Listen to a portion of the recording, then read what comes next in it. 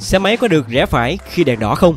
Không ít người cảm thấy khó chịu khi dừng đèn đỏ ở ngã ba, ngã tư thì bị những xe phía sau bóp còi in ỏi để rẽ phải. Vậy thì xe máy có được rẽ phải khi đèn đỏ hay không?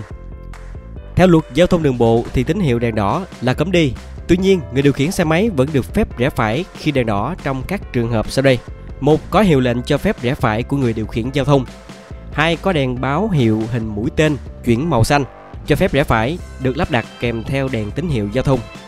3. Có biển báo phụ cho phép rẽ phải khi đèn đỏ. 4. Có vạch mắc võng bố trí ở làn đường trong cùng bên phải. 5. Có tiểu đảo phân luồng cho phép rẽ phải trước khi đến đèn tín hiệu giao thông.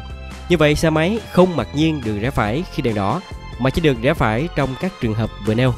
Cho nên khi đèn đỏ mà muốn rẽ phải thì phải xem mình có thuộc 5 trường hợp trên hay không. Bởi vì nếu vi phạm, bạn có thể được nhận ngay một biên bản vi phạm từ các anh cảnh sát giao thông về hành vi không chấp hành hiệu lệnh của đèn tín hiệu giao thông với mức phạt từ 800.000 đồng đến 1 triệu đồng.